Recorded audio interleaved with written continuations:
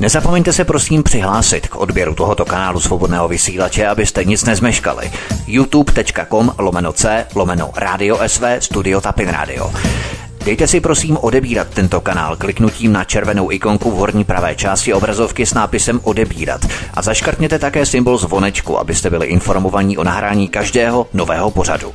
Tím také nepřijdete o čerstvé premiéry a rozmanité kauzy, které můžete dále sdílet na sociálních sítích.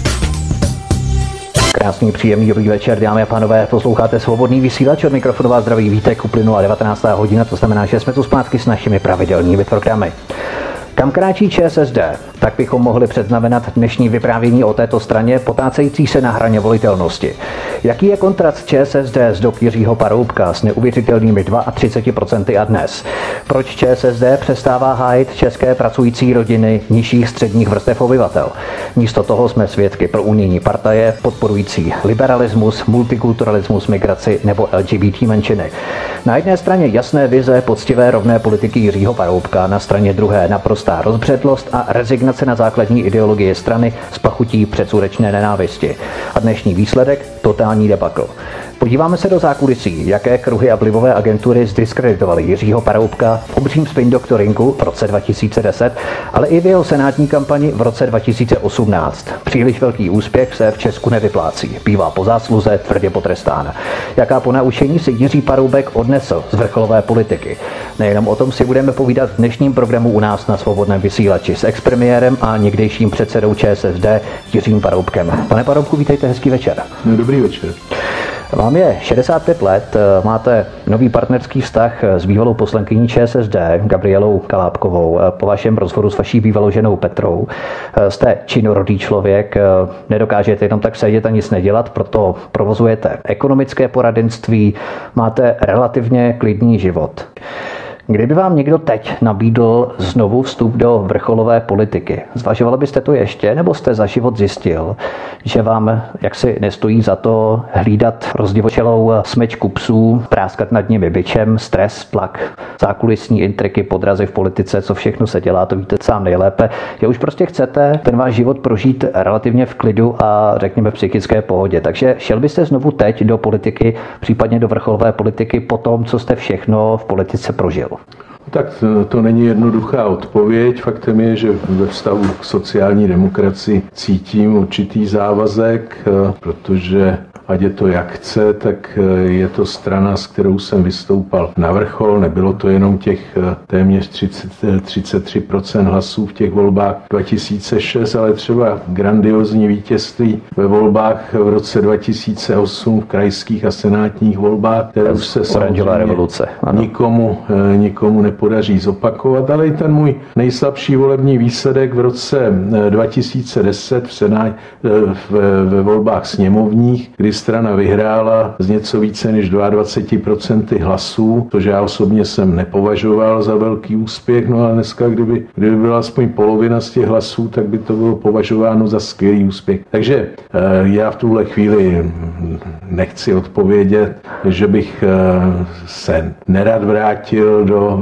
eh, vysoké politiky. Samozřejmě, že ten život, který teď žiju, tak má své, své řekněme, přednosti, ale rád bych eh, té straně pomohl a nabízel jsem to vlastně eh, už nějakých eh, nějaké tři roky nebo čtyři roky, to je tři a půl roku a zejména v, v čase Bouslava Sobotky jsem byl odmítán.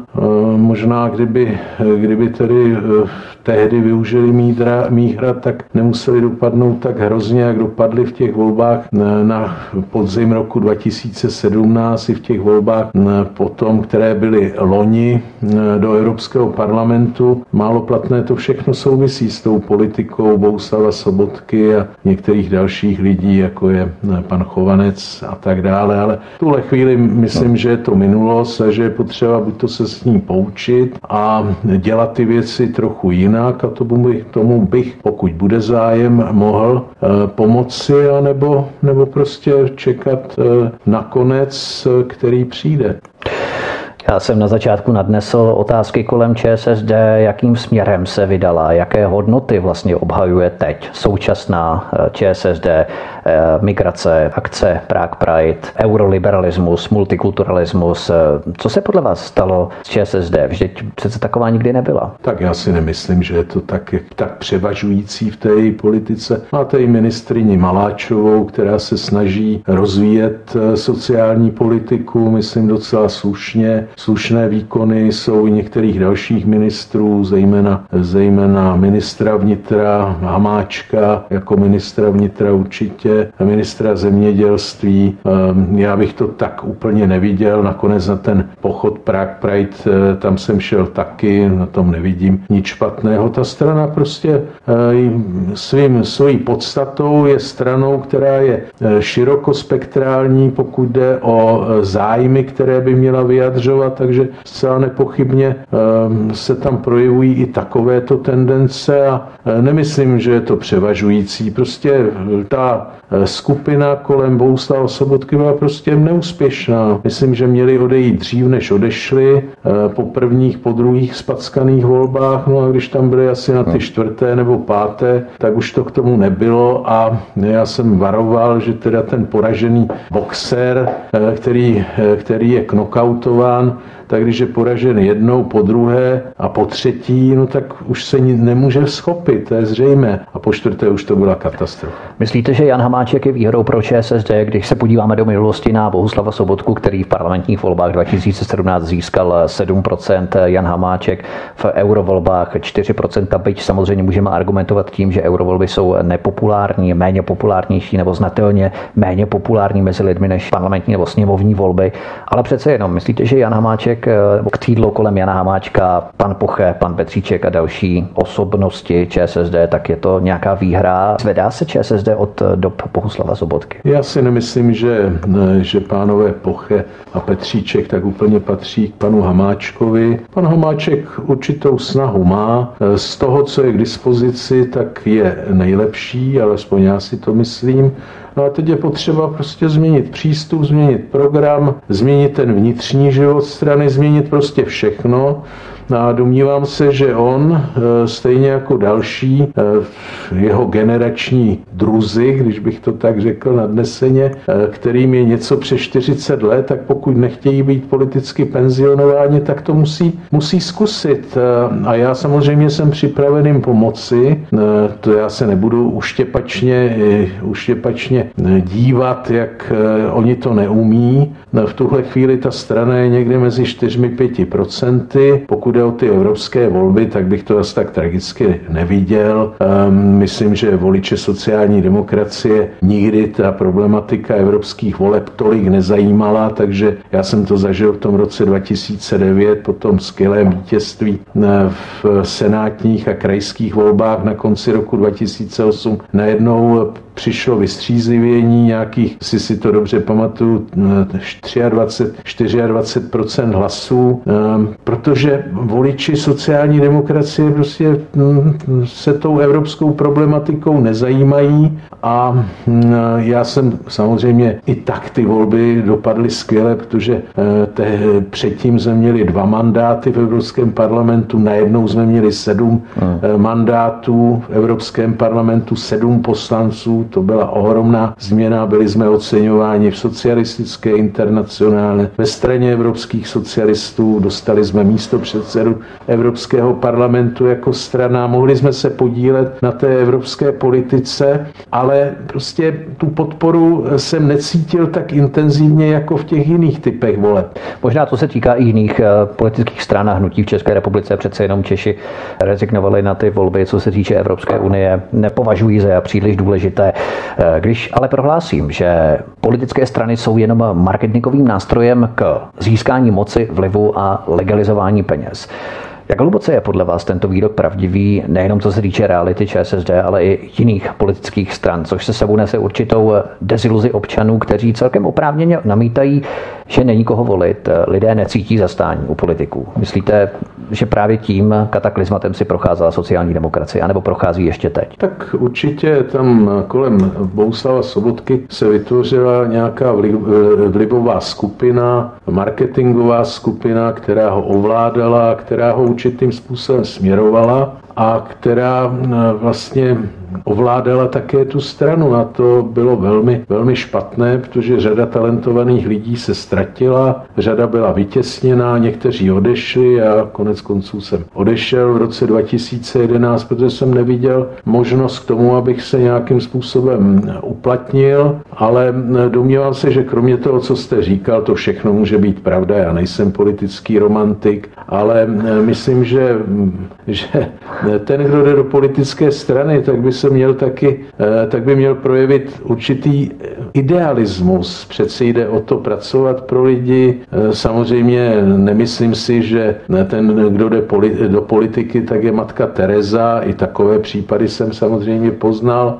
Řada lidí chce vyniknout, řada lidí chce uplatnit své ego. To je všechno pravda, ale, ale samozřejmě něco by měli odevzdat a pak můžou pomýšlet také na to, že jsou chvíle slávy a chvíle, kdy vám klepají na rameno, ale především by měli sloužit lidem a těm, zejména těm voličům, eh, kteří je třeba do té sněmovny nebo do senátu nebo do krajského či eh, obecního zastupitelstva vyslali. V ČSSD se sice objevili noví lidé typu Jany Maláčové, kterou jste zmínil, nebo Michal Šmarda, ovšem eh, stále tu jaksi Pozorujeme tu pachuť eh, toho incidentu ohledně Antonína Staňka, který odvolal ex-ředitele Národní galerie Jiřího Fajta, kdy výsledky auditu poukázaly na zásadní rozpory a machinace se žádostmi o dotace. Eh, na jeho místo měl být eh, jmenovaný právě Michal Šmarda, blízký přítel tehdy Bohuslava Sobotky a Radka Pokorného. K tomu se možná ještě také dostaneme. Myslíte, že tohle svědčí o rozumné politice ČSSD, kdy strana místo pochvaly Antonína Staňka za odhalení korupce ho odvolá? Co si potom ti lidé mají o té straně myslet? No tak určitě to vedlo k oslabení pozic eh, strany, že takovéhle, takovémuhle politikaření lidé nerozumí, když se jeden z poslanců strany objeví na proti, eh, protivládní demonstraci a vystupuje tam proti vlastnímu ministrovi, tak je to podivné. Eh, samozřejmě na hm, odvolání šéfa Národní galerie mohou být různé názory, ale řekněme, že ministr asi měl důvody, aby ho odvolal, no a pak ten úředník úředník by měl sklapnout kufry, ale eh, tam jde také přeci o vliv, tam jde o to, že ten šéf Národní galerie prostřednictvím různých výběrových komisí, které více nebo méně jmenuje on, tak eh, vybírá a nakupuje umělecké výtvory, takže jde o velké peníze. Samozřejmě ta zájmová skupina, eh, která byla s ním spjatá, no tak se cítila být ohrožena a myslím, že řada funkcionářů sociální demokracie to použila jako určitý prostředek prostředek vnitrostranickému boji. A snažila se oslabit tedy eh, předsedu strany a, prvního místo předsedu tehdejšího Zimolu, takže já myslím, že takovéhle věci eh, strana, která se chce chovat sebezáchovně, prostě nesmí dělat. Eh, odvolávat si vlastního ministra pár týdnů před volbami. Ehm, samozřejmě i eh, minister Staněk udělal chybu v tom a v tom měl být také usměrněn jak předsedou vlády, tak předsedou sociální demokracie jako místo předsedou vlády, že měl celou tu, celou tu záležitost, celou tu záležitostí odvolání šéfa národní Národní galerie posečkat až po volbách. Jasně. To myslím, že by se nic nestalo, on by měl víc nabito, ty volby by proběhly relativně v klidu, rozhodně by nebylo použito eh, proti sociální demokracie tahle, ta, eh, tahle řekněme, eh, střelba, No ona byla bohužel střelba také do vlastních řád, takže a rozhádanou stranu voliči nemilují. Tak proto tedy ten výsledek v těch volbách do, do Evropského parlamentu. Já myslím, že to byla jedna, eh, jednu věc, to mělo, je možné na tom najít pozitivní, a sice tu, že ti vedoucí činitelé strany teďka vidí, že je možné, aby strana neměla v těch příštích volbách 5%, protože prostě se to stalo. Samozřejmě já uznávám všechny takové ty faktory, které jsou objektivní, to znamená nezájem těch tradičních voličů sociální demokracie, no ale kromě toho, že je tady nezájem, tak tady byly i vlastní, vlastní politické chyby. A samozřejmě ten, kdo nekandiduje do Evropského parlamentu, tak by mu nemělo být jedno, že eh, tedy bude slabý volební výsledek. A já jsem viděl některé ty funkcionáře, vysoké funkcionáře strany, eh, kteří kteří jakoby na tom neměli žádný zájem. Vy jste říkal, že spousta lidí bylo vytěsněných, spousta lidí bylo odsunutých, včetně tady vás. Vy jste odešel tady dobrovolně, ale spousta lidí byla právě jaksi odejito eh, z ČSSD, nejenom v roce 2010-11, ale i později. Myslíte, že ČSSD prostě nemá žádné kádry, protože Michal Šmarda neusedl na post ministra kultury, ale místo něj tam usedl tentokrát Lubomír Zaorálek, dříve ministr zahraničních věcí. Eh, prostě ČSSD nemá kádry a točí se tam, lidé by řekne, nebo takto, abych to vyjádřil naprosto lidsky, točí se tam pořád ti též borci. Vidíte, já myslím, že, že ono je to jako ve fotbale. Ten, kdo chce, eh, pokud jeho tým vyhrává, chce, aby vyhrával dál, tak si tu základní osu toho týmu eh, pěstuje, udržuje, zkrátka ty, ty, ty klíčové hráče si nechává a tu a tam tedy... Hm, I když diváci pískají. Získají. Ho. No, někdo pískají, ale pokud je trenér přesvědčen a to vedení je přesvědčeno, že jsou to dobří hráči nebo velmi dobří hráči, no tak je nepouští. A k ním získává nějaké hráče další, kteří buď to se chytí, nebo se nechytí.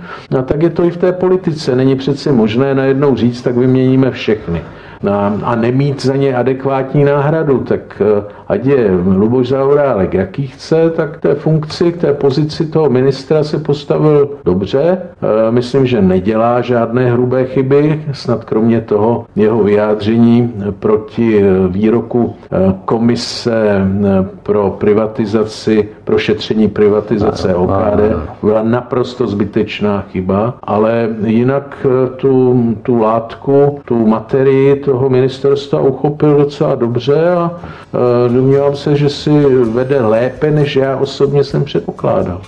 K OKD a vyšetřovací komisi stejně jako k dalším záležitostem se dostaneme po písničce. Posloucháte svobodný vysílač, jehož hostem je ex-premiér a bývalý předseda ČSSD Jiří Paroubek. Od mikrofonu vás zdraví Vítek, hezký večer. Svobodný vysílač je vaším průvodcem a společníkem dnešní večer. Od mikrofonu vás zdraví Vítek a naším hostem je ex-premiér a bývalý předseda ČSSD Jiří Paroubek. Když se vrátíme zpět do časů Jiřího Paroubka, do vašich časů v roce 2005, abychom se podívali na sociální demokracii, jak si proskoumali ten kontrast eh, ČSSD tehdy a dnes. Vy jste nastoupil od 25. Eh, dubna 2005 na post předsedy vlády po skandálu se Stanislavem Krosem. Strana byla tehdy na sestupu rozhádaná. Vám se podařilo nejenom tento pád zastavit, ale u voleb 2. 3. června. Ne, pardon, července nebo června to bylo ano, června 2006 měla ČSSD neuvěřitelných 32%, konkrétně 32,32%. Eh, když jste zahajoval tyto, řekli bychom, záchranářské práce, stal jste se jakýmsi krizovým manažerem, eh, musí v těchto situacích ustupovat vnitřní stranická demokracie stranou, eh, je potřeba jednota, souhra, soudržnost, nikoli žádné debatování, akademické debatování různých dvou, třech křídel, ten si to představuje takhle, druhý jinak a třetí ještě jinak. Prostě člověk musí ukázat tvrdou pevnou ruku, nebo jak se vám podařilo stmelit rozhádanou sociální demokracii? Máte nějaký tajný recept? Tak já myslím, že takový tajný recept samozřejmě neexistuje, tak je to asi jako někde v nějakém podniku, když eh, se snažíte eh, zvýšit zisk, tak také musíte se snažit osekat třeba náklady, musíte se snažit zvýšit výnosy, no tak já jsem se snažil zvýšit volební preference, tak aby to tu stranu postupně uklidnilo, aby to ukázalo, že jdeme správným směrem a, a, a snažil jsem se stabilizovat ty stranické řady. Samozřejmě ze začátku zejména jsem musel uklidňovat některé ty lidi, kteří měli nezřízené ambice, eh, protože když máte 101 eh, koalici, tak každý si myslí, nebo ne každý, to bych nechtěl říct, ale řada lidí si myslí, že oni jsou tím rozhodujícím 101. hlasem a že si vynutí víc, než co jim přísluší, tak to se mi podařilo eh, uklidnit. Myslíte no Haškovo křídlo třeba? Ne, to takové křídlo neexistovalo. Neexistovalo. Uh, tak já jsem Michala Haška vytáhl poté, když začátkem roku 2006 skončil v podstatě po mediální kauze, která neměla žádnou, žádný věcný obsah. Skončil Michal Kraus, výborný předseda poslaneckého klubu, tak jsem vytáhl uh, Michala Haška, mladého kluka, uh, dal jsem mu šanci jako předsedovi klubu a um, víceméně jsem se snažil nejen jeho, ale i některé další mladé lidi prostě připravovat na to, aby postupně tu stranu eh, převzali, aby byli schopni ji řídit, aby byli schopni přinést něco nového. No, takže pěstovat tu kádrovou základnu v podstatě, aby člověk měl z čeho vybírat. Aby dostali, no. aby dostali šanci, tak eh, Jasně. já jsem dělal přesný opak toho, co dělal Bouslav Sobotka, který se naopak svých konkurentů zbavoval. No, já jsem no, si je vlastně no, vytvářel. Uh-huh, takže, uh-huh. ale pokud chcete budovat silnou politickou stranu, tak vám nic jiného nezbývá. Pokud se chcete dostat k 7%, státům, jako se to povedlo Bouslavu Sobotkovi, no tak zlikvidujete tu svoji hmm. takzvanou vnitrostranickou opozici, ona vždycky existuje, eh, no ale ono, když vám ty lidé říkají, co byste měl dělat, tak jsou to eh, rady, dá se říct zadarmo, jo, kolikrát, tak musím si vyhodnotit, eh, do jaké míry je to, je to přínosné a do jaké míry ne. A to je úkol toho šéfa, který vede. A když to umí, no tak, tak ti lidé mu radí dobře, protože on si umí vybrat, co je dobré a co je blbost, no a když, když to neumí, no tak se utopí, utopí v detailech a tak dále, ale já jsem přesvědčen, že i během té skvělé cesty, která byla během 11 měsíců, to vlastně dostat, pardon, během 13 měsíců to dostat z 10% volební preferencí na zhruba třetinu no. hlasů, tak eh, to byla ohromná cesta, ale kdybych neudělal pár e, taktických chyb a pár věcných chyb, tak strana mohla vyhrát. Mohla vyhrát ty volby, nebýt druhá, ale mohla ona mít těch 35, 37 hlasů. To bylo v našich silách určitě, ale to už by bylo skoro zázrak. Mm. Jo, nedělat mm. chyby a já jsem vlastně předtím v žádné vrcholné politické funkci nebyl, takže to bylo díky, řekněme, v té době neskušenosti ještě. No, co Nebo... pak, to já, já myslím, že...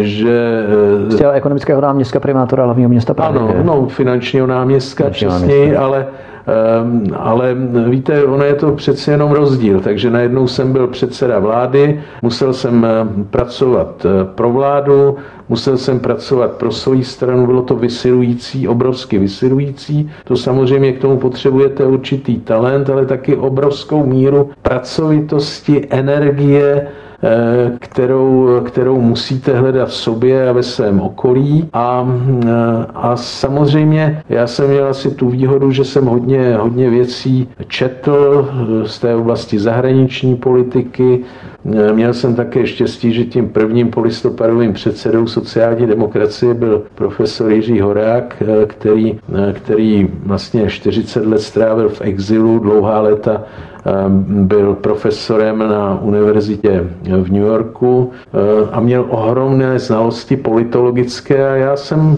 řadu věcí, aniž mě to on říkal, tak řadu věcí jsem si postupně nastudoval, takže i to mě dávalo určitou, ehm, určitý, určitou představu, jak bych se v určitých situacích měl chovat. Ale samozřejmě velkou roli tady hrála intuice, určitý talent. Pokud někdo nemá pro politiku talent, tak by neměl dělat vysokou nějakou funkci. Pokud je někdo introvertní, jako byl Bohuslav Sobotka, no tak nemá předpoklady, aby v takové funkci obstál, byť ho drží nějaká zájmová skupina, zuby nechty, ale e, prostě nemá předpoklady k tomu, aby byl úspěšný. Eh, a takových lidí, kteří, kteří dělají něco, na co ve skutečnosti nemají, je v politice celá řada.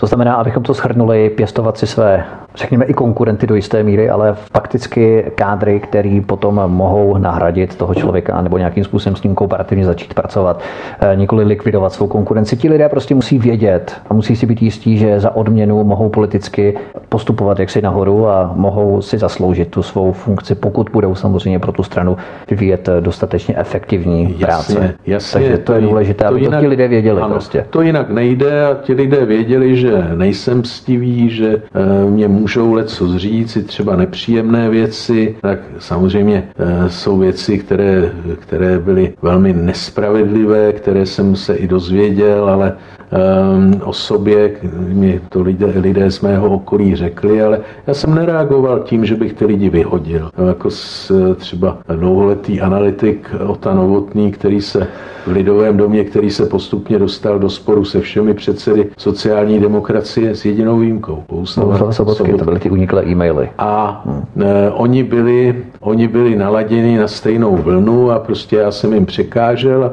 před e, krajskými a senátními volbami v roce 2008 vznikla taková nepříjemná situace, kdy po křtu mé, knihy e, v jedné pražské restauraci a po mém odchodu e, došlo prostě k ke střetu dvou lidí. Ano, pro posluchače pan byl, Bohumír Jurečko hotelier a z nich jeden byl, byl zastřelen. A samozřejmě, že jsem to těžce nesl, protože prostě jsem si uvědomil, že ta politická konkurence mě s tím bude spojovat, ano, když jsem s tím ano. nic neměl společného. Prostě bylo selhání toho člověka, který tam přišel, který tam přišel opilý, možná i něco jiného ještě použil. Takže a já jsem ho ani nezval, nedělal, to bylo prostě se tam dostal nějakou schodou náhod, ale to je jedno. V zásadě k tomu došlo, no a e, ten Ota Novotný mě hned druhý den se na mě vrhnul, že já jsem zničil výsledek sociální demokracie ve volbách. No, ale Ota Novotný byl přesně člověk, kterého bylo dobré si pěstovat, protože on mě většinou radil tím způsobem, že já jsem musel dělat pravý opak toho. Takže... Jste věděl, co vám poradí, takže přesně pravý opak. On mě poradí vždycky v té nejlepší, v té nejlepší vůli eh, mít co nejlepší, eh, nejlepší radu, ale vždycky si někdo nemá politický talent, ale eh, musím říct, že byl jeden projekt, který on dělal se mnou velice dobře, to byla modernizace strany, no ale pokud je o tu praktickou politiku, na to on buňky neměl, tak tady mě vyčetl tohleto, Jasně. že jsem zničil stranu v zásadě a strana za týden měla nejlepší výsledek ve svých dějinách, který už nikdy nebude opakován. Takže, ale já jsem ho nevyhodil po těch volbách, aha, jo, protože e, prostě jsem si říkal, že je, že je užitečný, no ale musím říct, že stejnou velkorysost eh, třeba on konkrétně ve vztahu ke mně, když jsem odešel z funkce předsedy strany, tak neprojevil. No, takže takže lidé jsou malí, někteří, s tím se nedá nic dělat, Jasně. ale mě nikdy nechyběla, myslím, velkorysost, eh, to aniž bych se nějak příliš vychvaloval, tak já jsem vedle sebe snesl ehm, zejména o tu politickou stránku, o kterou jde nejvíc, tak jsem vedle sebe snesl lidi, kteří přirozeně byli ambiciozní, mysleli si na to, že jednou můžou dělat vysoké funkce. No taky někteří z nich si mysleli, že to bez země půjde líp, no tak jak to dopadlo, to no, všichni to vidíme. Všichni vidíme ano. ale, eh, ale nicméně všechno je napravitelné, všechno je řešitelné. I tahle situace je podle mého názoru řešitelná, tak jako byla v tom dubnu 2005, když jsem tu stranu převzal na 10%, tak teď je o nějakých 5-6% míň, ale já si myslím, že pokud, eh, pokud se zvolí správné nástroje k tomu, eh, aby politického působení navenek, dovnitř strany, pokud lidé uvidí, že to, co ta strana říká, že bere taky vážně, tak se ta její pozice postupně nechá obnovit. Vy jste zmínil ještě duben 2005 i rok 2008. Zůstaňme ještě chvilku u této doby, abychom byli chronologičtí a postupovali hierarchicky. Vy jste byl na mimořádném předvolebním sjezdu ČSSD 13. května 2006 před volbami, zvolený jako předseda strany, ale v této souvislosti zmiňme ještě legendární Kubiceho zprávu z 29. května 2006. Přitom ty samotné volby se konaly 2. a 3. června 2006, takže to načasování, ten timing těsně před těmi volbami byl velmi evidentní. Když to s ostupem času hodnotíte, na jaké kruhy byl vázaný Jan Kubice? Jehož zpráva takto unikla několik dní před volbami, protože se tam popisovalo i napojení na posvětí i třeba u ODS, tak to nemohla odpálit pouze pravice jako mstu konkurenci, případně právě, abyste nezískali ještě více procent než těch 32. Co myslíte, proč to bylo, nebo kdo to byl Jan Kubice tehdy? Víte, já myslím, že jde vždycky o to, kují, kují bono komu to slouží. Takže to posloužilo ODS k útokům. My víme, a to jsme také v parlamentě řekli, ve sněmovně řekli, bezprostředně poté, kolikrát si třeba volal pan Vidím s panem Kubicem před zveřejněním té Kubiceho zprávy, kolikrát volal pan Langer Aha. s Kubicem a tak dále. Takže tam jiný politický vliv asi nebyl. E, to, že e, pan Kubice byl člověkem ODS, o tom nelze pochybovat, protože konec konců ta ho jmenovala později ministrem vnitra, což teda, byla, ne, což teda byl výsměch demokracii no, no, no, no, no, úplně. No. To je člověk, který, který zničil volby, regulérnost v podstatě voleb v tom roce 2006, tak, tak se stal ministrem vnitra. Kamarád dobře si pro nás pracoval, tak my ti dáme nějaké to pulíčko naše Takže, takže řekněme si otevřeně, že já nepochybuju o tom, eh, kdo zatím politicky stál. A jiná věc je, že ten člověk mohl dostat impulzy také zvenčí, ze zahraničí. A to nechci spekulovat, to nemá smysl. A dneska už je to také pryč. Ale eh, tehdy samozřejmě sociální demokracie měla, eh, se měla mnohem více bránit tomuhle po volbách tedy, ale před těmi volbami myslím, že jsme na to nemuseli tak těžko tonážně reagovat, jak jsme na to reagovali. My jsme to přeceňovali, ten vliv. Samozřejmě, že nám to ubralo eh, nějaké hlasy, to byly přesně ty hlasy, které by nás přehouply k té většině levice, protože ty volby jenom připomínám, no. že dopadly 100 na 100, takže v některých, Pohanka, všichni se eh, v některých krajích, eh, asi ve dvou krajích, jsme mohli mít ehm,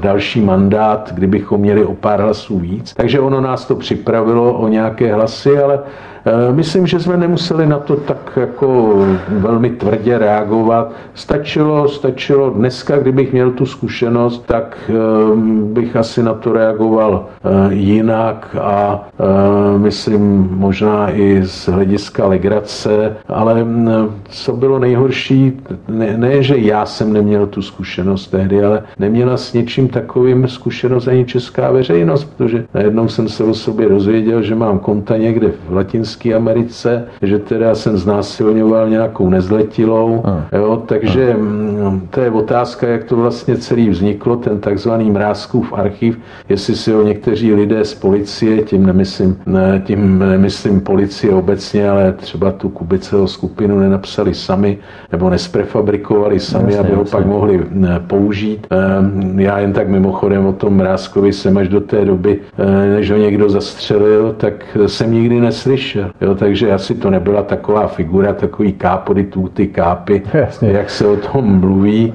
a e, když o tom e, o něm nikdy neslyšel ani premiér, který je nadprůměrně dobře informován. Takže víte, e, asi to chtělo trošku jiný přístup, ale faktem je, když při, zrovna byla zveřejněna ta Kubiceho zpráva, tak druhý den k nám přijel na výpomoc na jednu, na pár našich mítingů. Pamatuju si živě v Ostravě, kdy tedy na nás čekalo asi pět tisíc lidí. Přijel Gerhard Schröder, bývalý spolkový kancléř Německa. My jsme spolu nejdřív byli v Brně, tam ještě spolu s vídeňským starostou Hojplem, taky mimořádně populárním člověkem v sousedním Rakousku. Tam jsme byli na nějaké akce a pak jsme se přesunovali tedy s velkým spožděním e, do Ostravy a tam na nás čekalo opravdu těch pět tisíc lidí, kteří byli zvědaví asi nejen na mě, ale také na toho spolkového kancléře, který tam od války vlastně nebyl. Takže, eh, takže řada těch lidí v tom, řekněme, prostředí, kdy ty rodiny, kdy se ty národnosti rodin, řekněme, prolínaly, kdy se třeba mluvilo v jedné rodině česky, německy, nebo polsky, česky, polsky, německy, tak eh, tohle to zapůsobilo asi dobrým dojmem, ale ani ten Gerhard Schröder mě neříkal, jak bych měl na to reagovat, protože to bral jako takový klasický předvolební podraz, ke kterému by ale e, němečtí voliči přistupovali s nadhledem. Hmm. Jo, ale čeští hmm. voliči tu zkušenost, že by někdo pár dní před volbami e, takovýmhle způsobem vystoupil a snažil se zničit šance toho politického oponenta, tak tady nebyla. Ale řeknu ještě jednu věc. E, my jsme vlastně celý rok tu ODS doháněli doháněli. Z těch 10% najednou tři dny před volbami, nebo ne tři dny před volbami, ale dva dny před tou Kubiceho zprávou jsme dostali na stůl průzkum veřejného mínění myslím, že to byla agentura Faktum, eh, kde, eh, kde jsme se dozvěděli, že najednou vedeme na stejnou informaci. Což u koaliční strany, že? Přesně jenom vedou opoziční strany. Že, že teda jsme nejsilnější, co se týče volebních preferencí. Takže samozřejmě, pokud jsme měli takový průzkum my, tak měla takový průzkum i ODS, něco, Určitě. něco museli udělat. Museli udělat a použili teda tenhle ten podraz, eh, který teda byl vlastně ránou, ranou celému tomu ústavnímu systému. Ne, že ne. Hmm. Podobnou ranou nakonec bylo, bylo i to rozhodnutí ústavního soudu pana Rycheckého na podzim 2009, kdy zrušili ústavní zákon, si dovolili zvolit, zrušit ústavní zákon, což eh, ústava eh, neumožňuje. Tam se mluví o tom, že můžou zasahovat do zákonu, ale rozhodně ne do ústavy, ústavní soudci nebo do ústavních zákonů. Takže ho zrušili a bez nějakých, bez, eh, řekněme, bez výčitek svědomí je tam pan Rychecký dosud a dává lekce třeba prezidentovi, jak by se měl správně ústavně chovat. Takže on porušil ústavu zjevně. No, ale nebyl sám, eh, bylo těch porušení ústavu, ústavy celá řada eh, a jedno z nich byla ta Kubiceho zpráva. Vy jste totiž na Jana Kubiceho podal trestní oznámení spolu s Václavem Kočkou starším, Bohumírem Děličkem a dokonce s někdejším operativcem, později soukromým detektivem Liborem Gregorem z UOZ, tehdy ještě dříve, do roku 2003, myslím, že byl v UOZ, eh, který se nechal slyšet s tím, že Kubiceho zpráva byla stůžka polopravd, lží a nesmyslu. Eh, jak vlastně dopadlo to vyšetřování? Bylo to něco jako to u nás v České kotlině tak nějak chodí ve stylu nic jsme nezjistili, nic jsme nevyšetřili, zapomeňte, Dopadlo to vůbec nějak, protože to tak nějak vyšumělo do vytracená, do ztracená? Víte, já bych trošku jenom chtěl říct, že jsem podá, že jsme asi podávali každé, každý zvlášť, každý, to trestní oznámení zvlášť, asi z jiného petitu, že, že eh, každý. A eh, takže já ani nevím, jestli podávali pánové Kočka, pan Ďuričko a ještě někdo jiný, že podával trestní oznámení, nebo pan Večerníček. Ehm, ale dopadlo to bohužel také neslavně, neslavně pro českou justici, to, že pan eh, Kubice dostal nějaké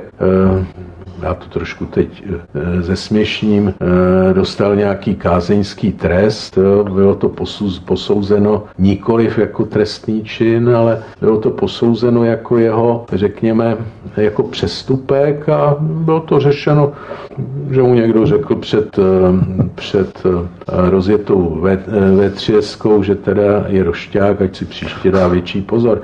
Takže, no. takže víte, když tohle běžný občan vidí, že se to vlastně všechno zahladilo. Tohle byl přeci hrozný podraz. No jasně. Minimálně pro polovinu voličů, kteří to tak, kteří volili levici a takhle to vnímali, ale mm, ty orgány mm, činné v trestním řízení, prokuratura, státní zastupitelství, ehm, policie, to prostě viděli jinak. Jo, takže ty si zjednodušili situaci, pan Langer udělal všechno, aby během krátké doby ovládl policii. Když ta vláda neměla většinu, tak tom pokračoval, zbavil se těch lidí, kteří by, řekněme, byli zárukou zákonných a ústavních postupů. No a dokázal to zglajšaltovat. Hmm. Pojďme se podívat na další téma ohledně nadcházejících voleb, respektive tehdy nadcházejících voleb v roce 2010, ale na to se podíváme po písničce. Posloucháte svobodný vysílač, jehož hostem dnes je expremiér a bývalý předseda ČSSD Jiří Paroubek. Od mikrofonu vás zdraví Vítek, příjemný večer. Expremiér a bývalý předseda ČSSD Jiří Paroubek je hostem u nás na svobodném vysílači. My vás zdravíme opět po písničce, která právě doznívá od mikrofonu vás zdraví Vítek a my pokračujeme dále v našem povídání. Pojďme se tedy podívat, jak jsme načali před písničkou na další téma ohledně voleb 2010. Technikou masového ovlivňování veřejného mínění skupinami sociálních inženýrů je tzv. spin doctoring. My se na jeden takový obří spin doctoring podíváme právě ve světle sněmovních voleb 2010. Spin doctoring je technika předvolebního boje, kdy donutíte média postavit otázku veřejné volební diskuze okolo jediného a mnohdy banálního zástupného tématu. Vezmete si téma, ve kterém je vaše strana nejsilnější a váš největší soupeř nejslabší. Prefabrikovaný průzkum veřejného mínění, o které se postará zaplacená agentura, potom ukáže, že přesně toto téma zajímá voliče nejvíc. Najednou to spustí lavinu a pár takovýchto průzkumů změní výsledek voleb. A právě kolem vás, kolem pana Paroubka, se roztočil asi měsíc před volbami v roce 2010 obrovský spin. Strany TOP 09 a ODS, které si tehdy objednávaly desítky prefabrikovaných průzkumů, které měly za cíl vyvolat dojem ve veřejnosti, že Jiří Paroubek škodí ČSSD. Ve skutečnosti to bylo naprosto jinak a úplně opačně. Jiří Paroubek byl pro ČSSD jejich nejsilnější postavou, ale spin nezafungoval a veřejnost tomu začala opravdu věřit. A najednou se také dokonce začaly ozývat hlasy i ze samotné ČSSD, zevnitř ČSSD, že Paroubek není dobrým lídrem.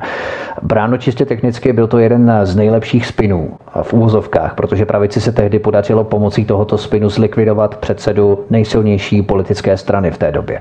E, myslíte, že jste měl vůbec nějaké šance se proti tak, řekněme, soustředěnému spinu, spin doctoringu, ubránit, protože to byla taky jedna z jaksi prvních zkušeností, no prvotních zkušeností, se kterou vlastně česká veřejnost do posud eh, neměla zkušenosti stejně tak jako s Kubiceho zprávou. A v podstatě to je příklad toho, jak eh, fakticky ty mediální agentury fungují vůbec. No víte, eh, asi bránit se tak úplně nedalo. Myslím, že nakonec ten volební výsledek, i když byl pro mě zklamáním, tak bylo to volební vítězství, ačkoliv pro mě trošku trpké. Právě proto, co jsem zažíval, ne v tom posledním měsíci, ale dlouhé měsíce předtím, no. když jsem byl spolu se svou rodinou, jsme byli vlastně štvanou zvěří to a pamatuju, no. když jsem se šklebil, šklebil z, um, z různých plagátů, billboardů, kdy mě fotografovali v těch eh, nejpitvornějších grimasách. Každý se někdy takhle eh, tváří. Já si vzpomínám, když jsem byl na nějaké, eh, na nějaké tiskové konferenci s generálním tajemníkem NATO pár týdnů před volbami a tam přišel nějaký fotograf a ten mi udělal snad 300 fotografií za, za tu dobu, co jsem... A, a samozřejmě a vybrali tu nejhorší, vybrali tu nejhorší nebo možná, že mě fotili ještě někdy jindy, kdy se zrovna tváříte, že jo, tak, že je to, že prostě je to odpudivé. No a tu dali pak na ty billboardy. To se samozřejmě v jiné zemi světa nesmí, tedy myslím Jasně. v jiné zemi se západní politickou kulturou, no ale u nás se tehdy mohlo všechno, aby ta sociální demokracie byla co nejvíce oslabena, protože prostě e, tady byl nejen zájem těch, těch, té TOP 09 a ODS a věcí veřejných a těch zájmových skupin, které za nimi byly, pan Janoušek a, a, a, a další a další, ale e, byly tady samozřejmě i zájmy lidí, jako je Zdeněk Bakala, který tedy v podstatě platil část volební kampaně no, těch tří stran, ano, ano. Věcí veřejných. A samozřejmě ten eh, Zdeněk Bakala měl své želízko v ohni v sociální demokracii a to byl Bohuslav Sobotka, protože no. oni měli stejnou PR agenturu, jak, Rose, jak se dostaneme, no Bohuslav Sobotka, tak pan Bakala, který má do dneška, Bohuslav Sobotka už ji nepotřebuje. Eh, takže, takže je, je otázka, čí zájem ta agentura preferovala. Takže mm, samozřejmě mm, Zdeněk Bakala měl svůj zájem na tom, aby, aby v klidu rozkulečil eh, OKD, což se mu povedlo krásně. Třeba eh, když já jsem mu řekl někdy na podzim 2009, pane Bakolo, ale vy jste něco slíbil na nájemníkům OKD, eh, a sice, že jim privatuje, eh, kdo bude mít zájem z nich, že, že mu prodáte, prodáte jeho byt za okasní cenu, tu se počítalo nějakých 50 tisíc korun tehdy za byt, protože takhle vy jste levně přišel v podstatě k tomu balíku téměř 44 tisíc bytů z toho státního podniku. Ano. No a, eh, a vy tedy, já když budu premiérem, tak se budu snažit dosáhnout toho, abyste svůj, svůj slib splnil. Tak ti, kdo přišli po mně, ani Kalousek, Nečas, protože byli v podstatě skorumpováni Bakalou, tím, že jim dal na volby, ani Sobotka, který tam měl tu společnou linku s Bisonen Rose, žádnou zvláštní činnost tímhle směrem, aby Bakala splnil e, svůj závazek, nevyvinuli. Takže samozřejmě, že tehdy já jsem ty věci nechápal. Pak s určitým odstupem a zejména v posledních dvou, třech letech jsem pochopil, že vlastně už někdy od poloviny roku 2007 jsem byl odstřiháván postupně od médií, které ke mně měly pozitivní vztah, což bylo do poloviny roku 2007 právo. Dneska třeba, když do práva pošlu jako bývalý premiér svůj článek, tak mě ho nezveřejní, což od června 2010 právo o mě zveřejňuje jenom negativní věci. Takže, takže můžete se tomu, vracím se k té vaší otázce, můžete se tomu ubránit, ale pokud je zatím takováhle ekonomická síla Jasně. a takové nasazení prostředků, tak eh, jedině se to můžete ubránit tím, co udělal Andrej Babiš, a sice, že si koupil vlastní sdělovací prostředky, takže minimálně, řekněme, polovina toho mediálního trhu je v příznivé neutralitě ve vztahu k němu, snaží se vysvětlovat lidem a tak dále. No. Jinak by nikdy neměl ty volební výsledky, které má, protože prostě ten tlak by byl tak obrovský a jemu se to povedlo prostě nějakým způsobem ne úplně eliminovat, to nedokáže. Eh, pochopitelně ta polovina toho těch médií je a bude proti němu vždycky, no ale ta druhá polovina je v té, v té poloze. Nakladatelství ekonomia. O nakladatelství, já myslím, že je ostudné, že Bakala ještě v tuhle chvíli no. vlastní nakladatelství, eh, že, eh, že se nestydí lidé z té pražské kavárny, kteří říkají, jak mají blízko k Václavu Havlovi, pan Žantovský eh, konkrétně, že se nestydí brát peníze od Bakaly na, na fungování knihovny Václava Havla. To je neslíchané, neslíchané. Přitom vědí, že díky těm penězům v podstatě přišlo eh, desítky tisíc eh, lidí, desítky tisíc rodin do neštěstí. Jasně. Totiž eh, ČSSD měla tehdy spoustu munice v tom roce 2010, eh, jak tehdy oslabit pravici, ale šéfem managementu volební kampaně byl tehdy Jaroslav Tvrdík, pokud se ji dobře pamatuju. Eh, myslíte, že Jaroslav Tvrdík selhal jako volební manažer, nedokázal tomu čelit? Já to nedokážu tak úplně objektivně vyhodnotit. Ono to bylo na jednu stranu těžké, protože když došlo k některým útokům na nás, když třeba na moji ženu Petru, Eh, tam, kde stála při nějaké volební, předvolební akci, nakladně konkrétně to bylo, tak odešla z toho místa a přiletěla tam kilová sklenice eh, plná bustů, tak hm. kdyby to dostala do hlavy, tak bylo po ní. To byly ta, ty vajíčka, že? No, no to nebyly už tehdy, tehdy ty vajíčka, to ještě zdokonali tímhletím způsobem a samozřejmě no. na našich mítincích, které jsme začali dělat, což byla naše silná stránka, tak eh, jsme byli konfrontováni s těmito útoky to byly přímo útoky na fyzickou likvidaci, takové fotografie prostě těch, těch ehm, plagátů, s kterými chodili takový demonstranti. Myslím, že to bylo demonstranti zrovna ve Slaném nebo v Lounech, tak eh, ve, svých kni- ve své knize pamětí eh, jsem jednu takovou fotografii vybral, kdy o mě mluví jako prvním, eh, prvním zastřeleném premiérovi. To je prostě neslíchané, co se tady dělo a mm, e, oni nás v podstatě vytlačili z ulic a já jsem nechtěl, aby došlo k nějakým ublížením na zdraví nebo dokonce k obětem na lidských životech, protože to by se obrátilo všechno proti nám. Kdyby, když jsme měli proti sobě všechen tisk v podstatě, všechna média, tak, tak kdo by se nás zastal? Tak se vytvořil mediální obra, obraz, jak byste to řekl, spin doctoring. Hmm.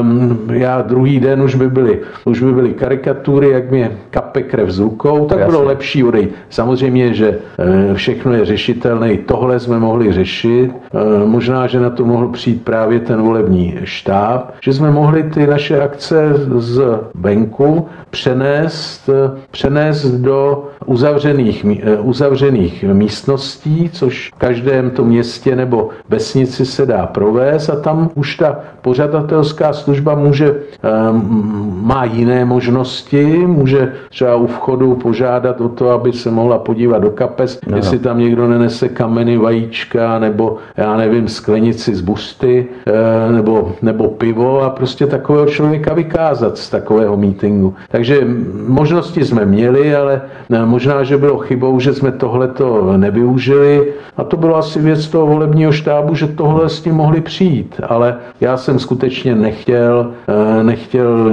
za každou cenu, za každou cenu jít do té konfrontace konfrontace, protože hm, tu konfrontaci bychom prostě prohráli. S ohledem na tu naši, eh, na, ty naše, na tu naši pozici v médiích, kde se čekalo jenom, čekalo na naše chyby, vyhledávali se přímo chyby. Eh, z těch našich obraných reakcí se vždycky dělalo dělalo něco, co je protidemokratického, ano, vlastně ano, ano, ano. nechutného. A to je hrozný, protože takhle vlastně agresor má vždycky navrh a takhle se dokáže zlikvidovat jakákoliv politická strana. Jasně, jakákoliv úspěšná politická strana, tak já nevím, jestli ti, kdo... Pro mě Andrej Babiš. Jasný. Kdo tohle to udělali, jestli jsou dneska šťastní, když je tady Andrej Babiš, tak asi ti samí lidé v podstatě typově chodí na, na akce milionů chvilek, že jo, a ti samí lidé eh, jsou vlastně izolovaní izolováni v, nějakých, v nějakém 30% getu hlasů a navíc se nedostanou, protože eh, prostě představují pro tu společnost, eh, jsou intolerancí určitou, určitou zátěž. Tím neříkám, že Andrej Babiš eh, je matka Tereza, chraň pábuch, ale, ale jako když bych ho srovnal, když bych srovnal jeho výkonnost s výkonností těch vůdců pravice, co tady předvedli za sedm let své vlády, tak si myslím, že je to přeci jenom těžko srovnatelné. To myslím, že na tom se shodneme eh, poměrně hravě. Nicméně lehce odbočíme. Předtím, než jste se stal premiérem a předsedou ČSSD, jste působil na pražském magistrátu jako ekonomický náměstek, no finanční, jak jste to říkal, finanční, finanční náměstek. náměstek. ano, ekonomický náměstek, ale právě Jaroslav Tvrdík, když jsme ho tu zmínili, tak se nechal slyšet, že mezi vámi a pražským komotrem Romanem Janouškem existoval vztah, který se podle Tvrdíkových slov udržel i později, když jste zmínil právě pana Janouška. Tak eh, můžete tento Tvrdíkův výrok eh, uvést na pravou míru? Jaký byl váš vztah s Romanem Janouškem? Ať to tedy lidé ví opravdu já od se, vás, já se přiznám, Já se přiznám, že takový výrok Jaroslava Tvrdíka jsem nikdy neslyšel a neviděl jsem ho ani napsaný. Určitě bych se proti němu ohradil už tehdy. Um, pan Janoušek byl velmi úzce spjatý, byli kamarádi s Pavlem Bémem, eh, spolu jsme, s kam, jsme kamarádi nebyli, prostě proto, že pan, pan Janoušek byl jeden z kmotrů ODS a to se vylučuje, tak jako Jasně. to, že, že s řadou lidí z pražské ODS jsem měl dobré pracovní vztahy. Vlastně, když jsem byl v městské radě, tak jako finanční náměstek, jsem musel, finanční náměstek primátora jsem musel mít s každým eh, dobré eh, pracovní vztahy, ale to nevypovídalo nic o tom, že bych, eh, že bych se chtěl kamarádit a podílet na lumpárnách. Takže také v době, kdy já jsem byl na pražské radnici, žádné takové lumpáry nebyly. Hmm. Tomu antiparoupovskému tažení přispěla tehdy i velkou měrou nejenom tedy, ale hlavně Mladá fronta dnes, která vás vykreslovala jako zhrzeného politika. Vy jste se měl vyjádřit, že měl Jaromír Soukup, aktuálně z televize Barandov, figurovat jako zdroj Mladé fronty. Navíc Jaromír Soukup měl vylepšovat vaší bývalé ženě Petře Paroubkové mediální obraz tehdy.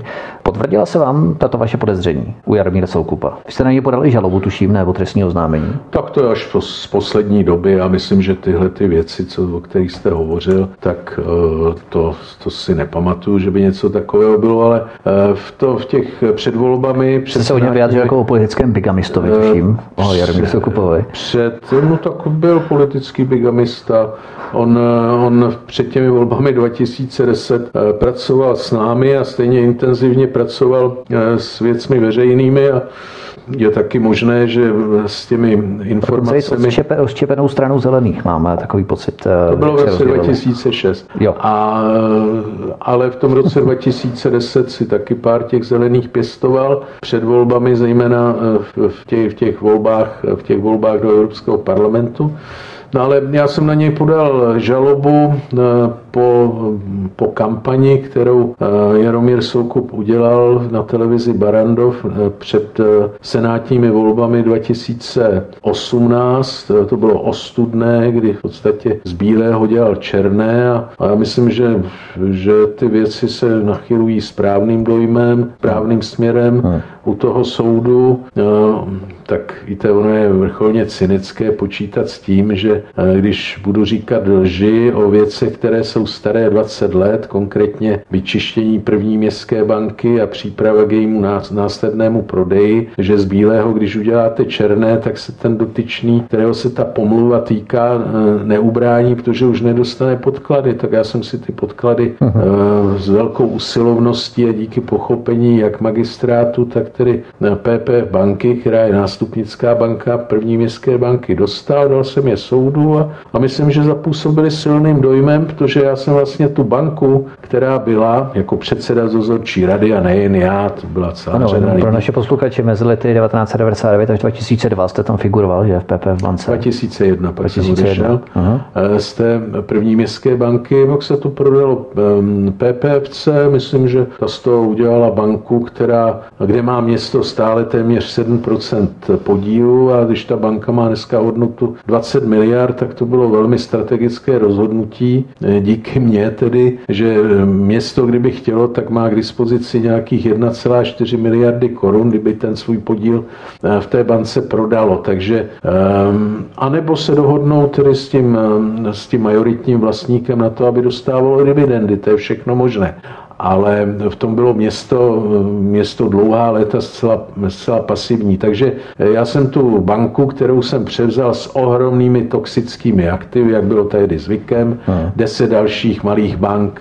v podstatě skolabovalo, zbankrotovalo, tahle byla jedna ze dvou bank malých, kterou se podařilo zachránit. A já si troufnu tvrdit, že to bylo díky eh, nasazení mé osoby, pochopení celé rady, mých nejbližších spolupracovníků na magistrátě i mimo magistrát, kteří s námi na tom spolupracovali, ale také pochopení České národní banky, eh, kde pan Racocha byl mimořádně velkorysý, protože ten, kdyby nám zavřel krám dva dny poté, co jsem se stal předsedou dozorčí rady první městské banky, tak jsme nemohli říct ani slova. Pro město by to byla katastrofa. Takže eh, z té hluboké ztráty, v které to bylo za léta 98-99, se to najednou dostalo do zisku, sice asi 8 milionů korun jenom, no ale byl to rozdíl. Jo? Takže eh, ta banka byla vyčištěná, připravená k prodeji a dneska prosperuje, ale pan Soukup, eh, pan Soukup tvrdil, že jsem tupě zíral k tomu, jak byla vykrádaná. Hmm. Jak byla vykrádaná, ne za mě, protože za mě nebyl poskytnut jediný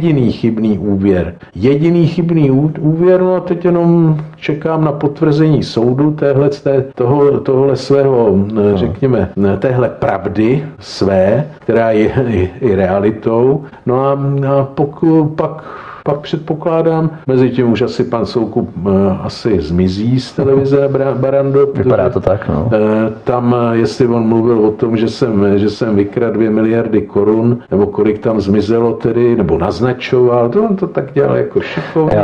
Je to naznačoval, že vlastně se to tam ztratilo, že si, do, že si doma přehrabuju 100 miliony, z toho vyplynulo. No tak on sám se dostal zřejmě k závazkům, neuhrazeným závazkům v objemu asi 2 miliardy korun, tak je to talent teda, že z televizí se dostane k takovémuhle závazku, teď už banky se na něj vrhají, protože chtějí své peníze zpátky. Hmm. Čínský investor, který tam vlastní polovinu té společnosti, no tak taky... To je taky skoro okolností před Jaroslava Tvrdíka, tehdy ještě CFC. tak jo, taky, když to, ty je, to, a tak ta skupina City, která tam je z Číny, jsou velmi zkušení investoři, tak ty s ním zatočí velmi rychle, ale samozřejmě, že už to chtějí řešit, no. protože prostě Eh, dvě miliardy jsou dvě miliardy, že jo, tak jako no, nechtějí se dožít té třetí a čtvrté miliardy, protože ono, ono se to hezky podniká za cizí peníze. Takže, mm, ale musím říct, že pan Soukup mě stále překvapuje. Já jsem byl na premiéře eh, v pátek, eh, výborné premiéře na, ve Vinohradském divadle a Vedle mě v loži tam seděl pan Soukup, sice sám, ale na prostém klidu, na prostém klidu tenhle člověk tam byl, jo, hm, tak aspoň se tak tvářil, že je v klidu, možná, že mu to nedochází, v, jakým, v jaké je situaci, to bych mu přál, aby, aby eh, to bylo pro něj co nej, nejmenší utrpení, ale, ale obávám se, že, že to s ním nedopadne dobře. Posloucháte svobodný vysílač, jehož hostem dnes je expremiér a bývalý předseda ČSSD Jiří Paroubek. Od mikrofonu vás zdraví Vítek, příjemný večer. Expremiér a bývalý předseda ČSSD Jiří Paroubek je hostem u nás na svobodném vysílači. My vás zdravíme opět po píšnice, která právě doznívá od mikrofonu vás zdraví Vítek a my pokračujeme dále v našem povídání. Po vás eh, převzal ČSSD Bohuslav Sobotka, to už jsme všechnu tu éru vysvětlovali, který stranu dovedl ke kolosální prohře v roce 2017, kdy získal 7%. Řadu těch příčin jsme probrali na začátku. Proč myslíte, že byl Bohuslav Sobotka držený u moci tak dlouho, když bylo nad slunce jasné, že voličské preference ČSSD strmě klesaly? Když hovoříme o tom, že biznisové ekonomické zájmy převážily před voličským elektorátem a sociálně demokratickými hodnotami strany, jací konkrétní funkcionáři Bohuslava Sobotku drželi, jsme si také prozradili. Když bychom naťukli jméno Radka Pokorného, advokáta Radka Pokorného, tak jsem se třeba dočetl, že advokátní kancelář Radka Pokorného se spolu s advokátní kanceláří Karla Muzikáře podíleli na přípravě dokumentace k několika set miliardové zakázce na dostavbu dvou nových bloků jaderné elektrárny Temelín a jejím průběhu. Jednalo se konkrétně o advokátní kancelář Vil Gočela Manges SRO, Karla Muzikáře a advokátní kancelář Pokorný Wagner a Partners SRO. A na jméno Radka Pokorného můžeme narazit v privatizaci jenom pro naše posluchače Mostecké uhelné společnosti, kterou ovládla společnost Apian Group. Se jménem Radka Pokorného se můžeme setkat v kauze privatizace plzeňské škody, ve které podstatnou roli sehrál Pokorného spolužák ze studií a budoucí šéf Česu Martin Roman. Plzeňská škoda se už pod novým názvem Škoda Transportation soudila s českými drahami o více než miliardu korun. Finále sporu vyústilo už v době premiérování Bohuslava Sobotky. Podstatnou roli se hrálo pokorného advokátní kancelář také při skandální privatizaci někdejších ostravsko-karvinských dolů OKD. Majitele OKD Zdeňka Bakalu poznal Pokorný už v 90. letech a Radek Pokorný, stejně jako Karel Muzikář, také pracoval pro Čes, když se jeho šéfem stal Pokorného přítel Martin Romana. Pokorný pracoval pro Čes i po odchodu Martina Romana. Toto jsou medializované informace nadačního fondu Boj proti korupci, byť si o této organizaci můžeme myslet všelicos, ale tyto informace oni prezentovali.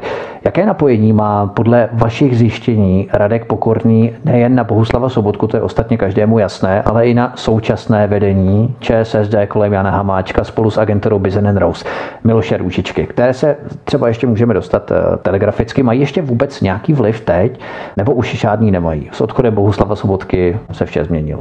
Já myslím, já myslím, a já pevně doufám, že už žádný vliv nemají na tu stranu, na vedení strany. To, že některé, některým funkcionářům, třeba takovým těm, eh, řekněme, kteří měli blízko k Sobotkovi, takže mají blízko, o tom nepochybuju, tak třeba vidíte, jak eh, lehce se dostává paní Valachová eh, do, do některých pořadů, zejména na seznamu, zejména v té skupině tedy toho seznamu. Taky se novináři z respektu bývalí, že v seznamu a tak dále, a tak dále. Takže teď budou mít asi jiné starosti trošku, takže eh, tam, kde prostě ten Radek Pokorný má vliv, tak tam ho nějakým způsobem uplatňuje a snaží se to, eh, snaží se pracovat ve prospěch těch lidí, kteří prostě byli spjatí nebo stále se cítí být spjatí se Sobotkou. Já si myslím, že ten, že ten eh, projev Luboše Zaorálka v poslanecké sněmovně byl také inspirován z těchto těch kruhů, protože je to úplně, úplně chybný, politicky chybný projev a zbytečný projev, protože prostě to nelze obhájit, tu, ten postup Sobotky a Pokorného eh, v té, pokud jde o ty, to, tu privatizaci major, minoritního podílu státu v OKD. Prostě to nelze obhájit a a e, bylo potřeba sklopit uši a, a čekat, e, jak rozhodne třeba státní zastupitelství celé věci, e, jestli tedy vůbec podá nějaká něco, jestli se něco bude dít, nebo jenom jestli se ty věci typu nějakého trestního oznámení na, na Bakalu, jestli se ztratí z povrchu zemského, jestli se nám bude zase pěkně smát od Ženevského jezera ze své vily. Ale mm, takže, takže samozřejmě tito lidé hráli velkou negativní roli, protože eh, si všímali svých zájmů, na voliče kašlali, v podstatě nerespektovali ani eh, zájmy eh, Bouslava Sobotky, protože toho při, přivedli do úplného politického lidského bankrotu. Hmm tihle lidé, no ale prostě... On vlastně úplně zmizel, po něm vlastně není vůbec vidět. On, on celkem udělal to nejrozumnější, co udělat mohl, a sice, že zmizel.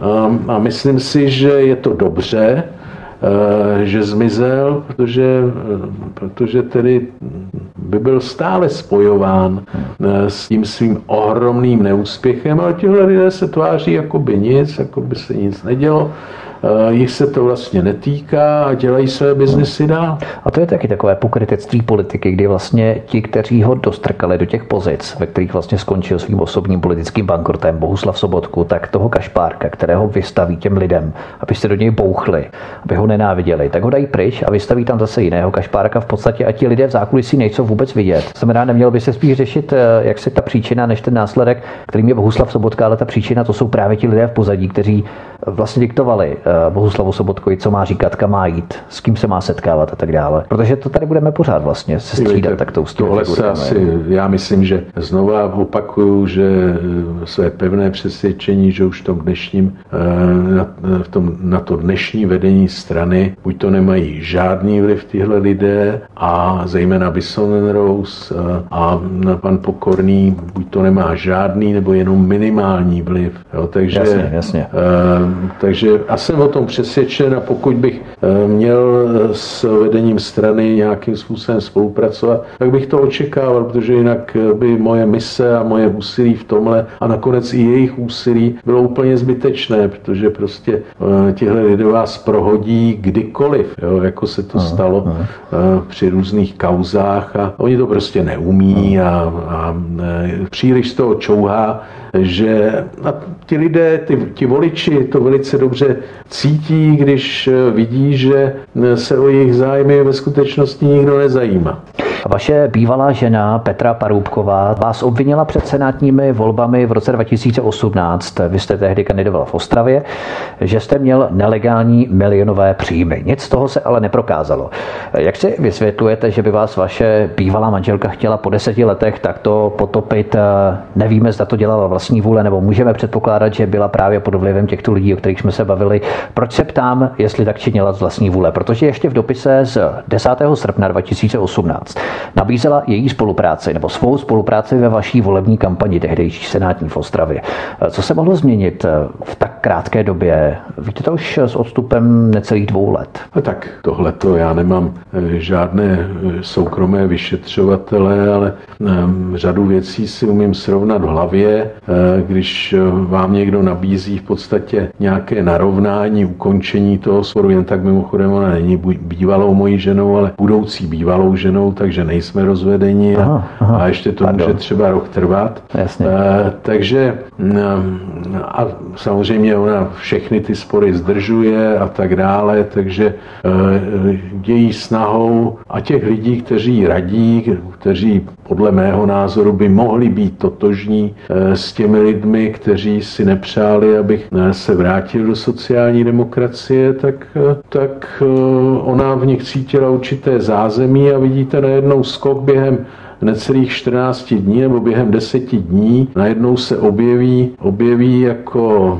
abych to neřekl urážlivě, Fúrie není urážlivá, jako Erínie, to není tak urážlivé, jako bohyně pomsty Jasně. Eh, se objeví eh, v televizi Seznam, kde eh, údajně spolužák, tedy Radka Pokorného, Jiří Kubík, jen tak mimochodem jeho tátu jsem znal velmi dobře, to byl hrozně fajn chlap, byl taky šéfredaktorem Ahoje nějakou chvíli.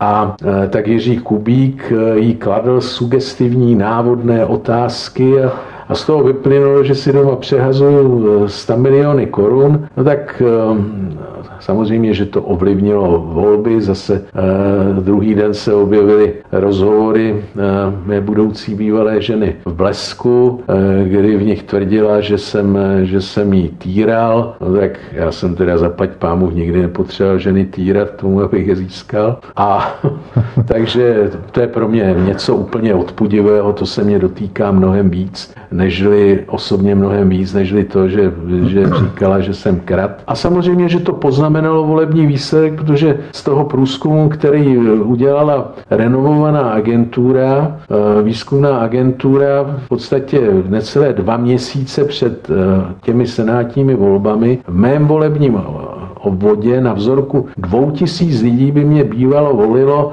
54% lidí, kteří řekli, ano, když bude kandidovat Paroubek, my ho budeme volit a dalších 13%, že si to bude e, rozmýšlet. No a když byla ta soustředěná palba od, eh, od Soukupa z jeho televize, která je sice málo sledovaná, ale e, řekněme nějakých na Ostravsku nějakých 7-8% sledovanosti v té době, ale to byla ta moje cílová skupina ano, spíš ano, ano. starších voličů. No a pak, když se dozvídají ženy o tom, jak jsem, jak jsem doma mydlil údajně vlastní manželku, nebo jinak týral psychicky, když jsem se jí zeptal samozřejmě, jestli může uvést nějakého svědka, nebo to, no, tak advokáti řekli, to bylo za uzavřenými dveřmi. Ano, tak to nikdo nemohl vidět. Takže, takže jako to nebylo, že jo, samozřejmě. No a dva měsíce po volbách, které dopadly, jak dopadnout museli, eh, to znamená špatně, při takovéhle soustředěném, při takovémhle, jak jste to hezky řekl, spin doktoringu, vlastně nějaké zájmové skupiny měly zájem, abych se eh, nevrátil do té politiky a do sociální demokracie abych eh, ji třeba neform, neformoval nějakým způsobem, ehm, tak, aby byla akčnější, ale byli to lidé, kteří byli spjati s tím bývalým, tak nebo onak, eh, s tím bývalým vedením sociální demokracie, no tak dva měsíce po volbách byla stručná zpráva eh, v televizi, kdy tam na liště proběhlo, že policie prověřila mé účty, mé finance a nezjistila ničeho. No. A teď prověřila mé finance také soudní znalkyně, soudem ustanovená, protože se eh, hrdlíme teďka kvůli nějakým alimentům, tak eh, ta došla k názoru, že ty mé příjmy plně odpovídají v těch posledních čtyřech letech, plně odpovídají tomu, eh, co bylo v daňovém, daňovém přiznání. Takže, takže nic se nepotvrdilo, nicméně se vším všechno se dá spochybnit, se vším se dá hrát, když máte teda zájem, ale bohužel takhle, takhle to u nás funguje a nejen u nás před volbami. Jasně. Před volbami asi, když je zájem někoho odstranit, nepřipustit, tak, tak se dějí takovéhle věci. No. Právě to jsem se chtěl ještě zeptat. Hovoříme tu o agentuře Bizonen Rose Miloše Růžičky, která má spolupracovat s Milanem Chovancem a Bohuslavem Sobotkou, respektive měla spolupracovat. A také a, s eh, Bakalou. Ano, se Zdeňkem Bakalou. To je velmi zajímavé, protože v roce 2015 bylo odhaleno díky dokumentům z Wikileaks, že si České ministerstvo vnitra tehdy už několik let mělo nechávat od italské společnosti Hacking Team šít na míru počítačové viry, které pak měla ilegálně vpašovávat do počítačů nepohodlných pohodlných osob a firem. Dostávat se tak ke všem soukromým i firemním datům, mailům a vůbec veškeré komunikaci. A kromě parlamentních listů tehdy a dalších médií měli zpravodajci z útvaru zvláštních činností zájem o prezentace ČSOB, Unicredit Bank, Komerční banky, Raiffeisen Bank, ale detektivové měli také v tom roce 2015 zájem o stránky vaší tehdejší politické strany LEV 21. Dokážete si to vysvětlit, proč jste uvízl v hledáčku zpravodajců napojených na ministerstvo vnitra 2015? Byl už tam třeba zájem o sledování ze strany křídla Milana Chovance, tehdejšího ministra vnitra, Bohuslava Sobotky, jeho nadřízeného, jeho šéfa, kteří si vás prostě mapovali z preventivních důvodů jako potenciální hrozbu? Tak může to být náhoda, ale na náhody upřímně nevěřím, takže, takže myslím si, že neustále jsem byl v hledáčku těchto těch lidí, respektive těm, kdo jim vytvářeli to zázemí a kdo taky eh, ty své šéfy, formální šéfy nějakým způsobem eh, eh, zabraňovali, nějakým způsobem zahrnovali informacemi a dělali ze mě třeba tu hrozbu. Takže myslím, že o těchto lidech se také hovoří potom v, v tom pozdějším čase, že to mohli být lidé, kteří té rozvědce, kteří pracovali na té akci Schumann, takže bude dobré, když to policie taky jednou vyšetří. Je škoda, že to trvá už kolik let.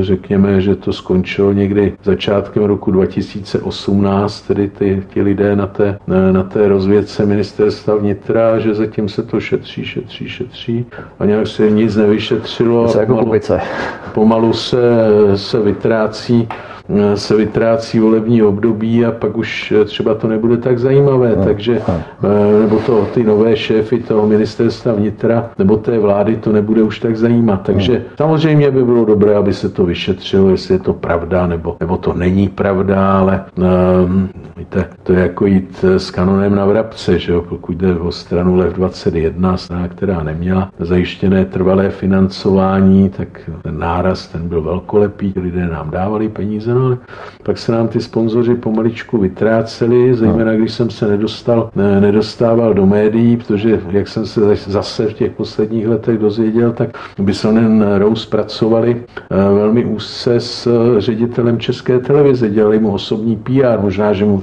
to dělali i dodnes.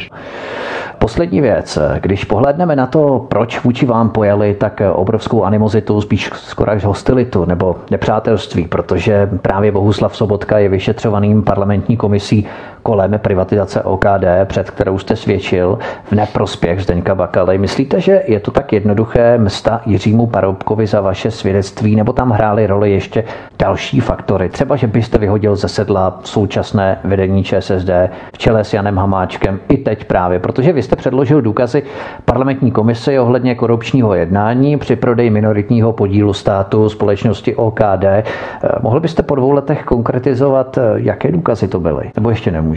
Tak důkazy, já myslím, že to není problém, abych to řekl, tak já jsem řekl, že, eh, že tady, tady byly, a to je zcela otevřené, o tom to se dokonce chlubil Zdeněk Bakala, že zabránil tomu, abych se stal českým premiérem v tom roce 2010, že také, že je známo, že dal přeci asi 28 milionů korun na volební kampaň TOP 09, ODS a věcem veřejným, čili to byla jeho koalice, která vznikla po těch volbách, takže to byla, to byla jasná záležitost. No a ty vztahy Pokorného eh, k Bakalovi jsou jasné, jak jste řekl, jsou od 90. let. Byl jeho právníkem Pokorný také. Myslím, že do dneška, že do dneška využívá Bakala jeho služeb. No a kromě toho, že byli osobní přátelé eh, Sobotka s Pokorným, to je známá věc. Oni spolu chodili do gymnázia, pak spolu chodili